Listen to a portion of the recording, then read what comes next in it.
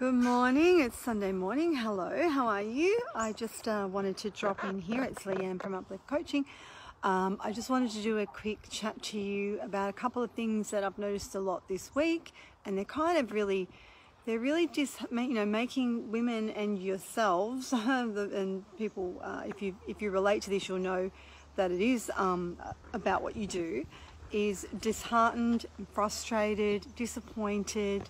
Um, and it's that continual um, behavior of um, weighing yourself, weighing yourself, measuring numbers on a scale rather than weighing um, or measuring, I should say, rather than measuring um, with a bigger picture, a bigger, uh, bigger goals, um, more uh, value, more value for you, right? More value about you.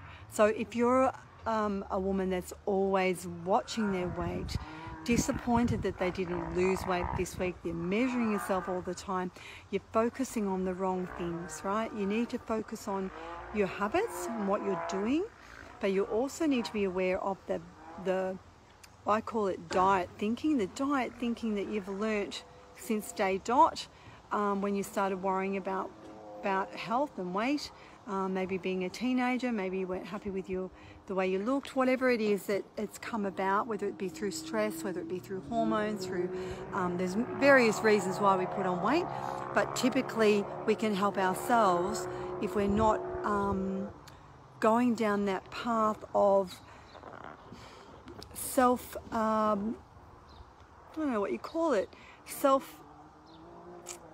Just not looking after yourself and also self-loathing, paying out on yourself, monitoring the wrong things, looking at the wrong things. You're not monitoring your energy. You're not monitoring your sleep. You're not, you're not looking at the other big picture things. You're only focused on your tummy.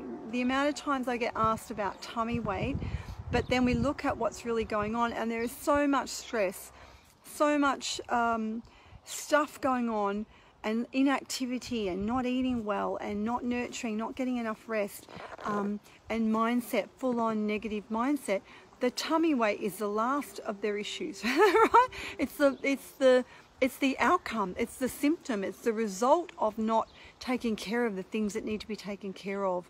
And even with emotions and doing things, you know, that don't serve you, um, if you're not, you've got to be prepared to sit in that, um, in that discomfort rather than looking for comfort for food and other things, yeah? And that whistle, that's my husband being stupid in the background. I'm trying to ignore him and I hope he doesn't come this way and annoy me. Anyway, so I just wanted to talk to you about that because I'm seeing, yeah, there's that habit of, of weighing yourself a lot, expecting a result when actually nothing else has changed. So if you can't if you're not changing anything that's happening in your day, your thoughts, your life, the number isn't going to change on the scale. All you're doing is disappointing yourself, frustrating yourself even more, right? So it's not the right thing to focus on. Um, and if you'd like to know um, more about that, about, oh, there's some people, did you see that? That's my, my boy and my husband being stupid in the background. How funny, right? Um, so yes, and I suppose the other thing is, yeah, how to measure your, your progress, which I've sort of covered off as well, right? So hide the scales, get get some other measuring um, ways in your on your measuring stick, right? So look at your energy, look at how you're feeling, look at your diet, look at um, you know, enjoyment of food. I think that's number one is enjoyment of food because a lot of women are not enjoying food. It's stressful. They don't know what to eat. And then they're feeling bad about eating, which is even worse, right? No one wants that. You don't need to feel bad about what you eat, right? So it's, it's again, it's this diet thinking that we've learnt and we need to unlearn it, right? There's no, there's no benefit to you to be following these rules that someone else made right? A diet is a made up thing that someone made to sell it to you. So they're all bullshit. And the other thing we listen to is the things we say about ourselves to ourselves, right? So that's got to stop as well. So if you've got poor self talk, um, and you may have been putting yourself down and picking on your tummy weight or your butt you know, for a long time, right? It's, it's a learnt behavior. So that's got to stop as well if you want to move forward and be, you know, and live fully, live the way you want to live without worrying about do I need to, you know, should I eat that or do I feel bad about eating that? Oh, I can't eat that. Stuff that, right? And that's the other thing too. I see a lot of rebellious behavior, right? So they're trying to make some changes, have a tough day, and then I call it teenage rebellion. We've got this teenager in us going, stuff that, I don't care, I'm going to have it anyway, right? So there's this rebellion thing going on as well, which you need to be aware of. Um, because we all do it where we go, we're not listening to that. Like I'm, I'm gonna have that. I'm gonna have that anyway. I'm not following that. You know, like that's not what you should be rebelling against, right? You should be rebelling against the whole diet thing in the first place. But yeah, I just think it's funny and it is exactly what we would do if we were a teenager. We'd go stuff it or um, one of my clients calls it the fuck you. Um, you know, it's like that that fuck you food. I'm like, well, I'm going to have it anyway. Stuff you. I'm not. I don't care what you say, right? So, and that's not to me. That's to herself, right? That's what I mean.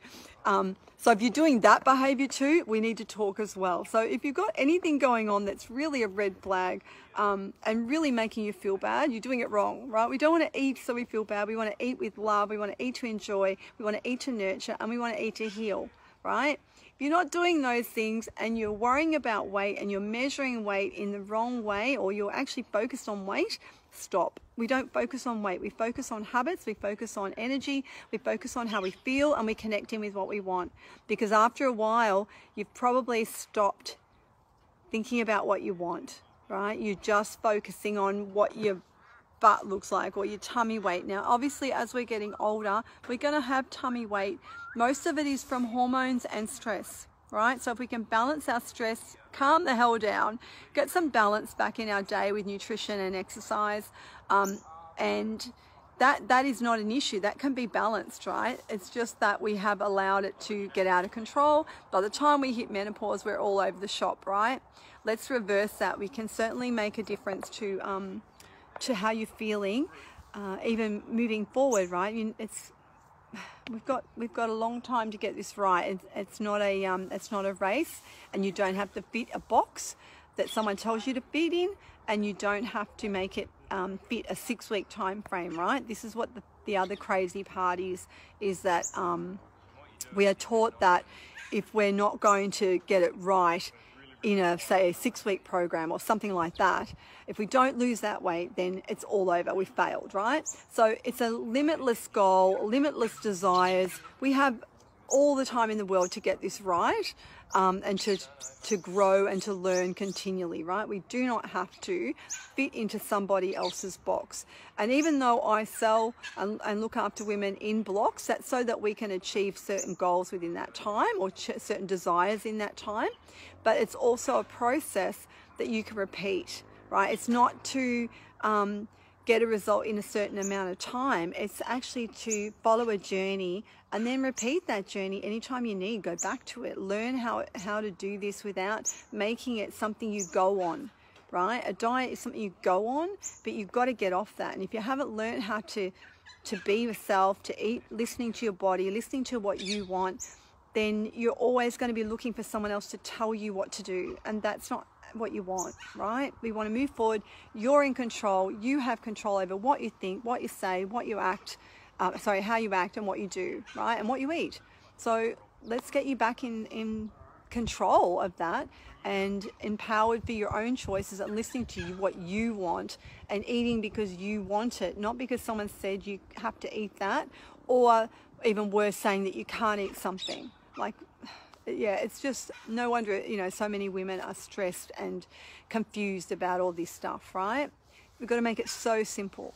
So if you ever need any help, jump on a call because that's what I love doing. I love solving mysteries, right? mysteries, and I love setting you straight. So if you don't mind honesty, um, that is something I do very well, um, and it helps a lot. If you can, you know, I don't want to, yeah. You've already heard your own bullshit. You don't need me to um, listen to it too. You need me to call it right? And I'll call you on your bullshit and get you straight. Yeah? So if that's what you want, then, then I can help. All right, have a beautiful day, guys. Thank you. Thanks, Marianne. Thanks, Yvette. Thanks, Helen. And anyone else who's watching today. Okay, bye.